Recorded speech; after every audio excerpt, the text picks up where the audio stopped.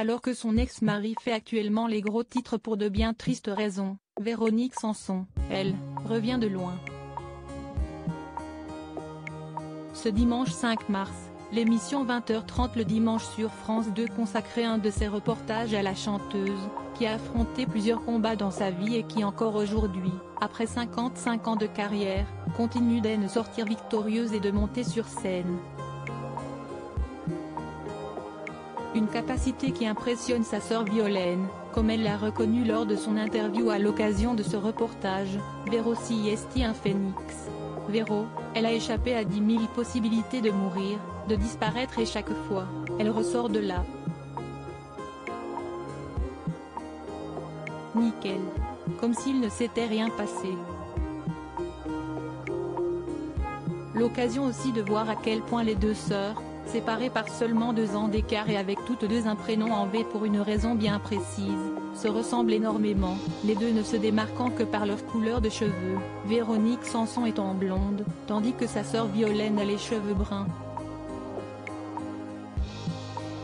Véronique Sanson, Renault.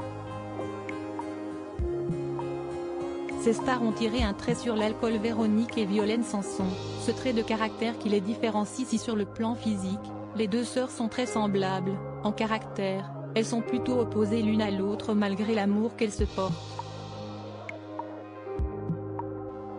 Invitée il y a quelques semaines dans l'émission En aparté, Véronique Sanson avait alors admis ne pas être rancunière, même envers les personnes l'ayant blessée, tandis que sa sœur, elle, n'oublie jamais rien, ma sœur, si est la fille la plus rancunière que je connaisse,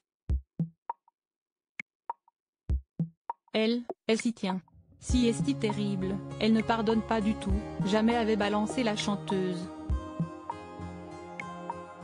Il faut aussi dire que Violaine se sent particulièrement investie d'une mission auprès de sa sœur, que lui a transmise sa maman, juste avant la naissance de Véronique, maman savait que l'arrivée d'un deuxième enfant pouvait être un vrai drame pour le premier, alors, quand Véro est né, deux ans après moi, elle me l'a annoncé en disant, on va avoir un bébé, c'est le mien, mais c'est aussi le tien, donc tu vas t'en occuper, tu es responsable.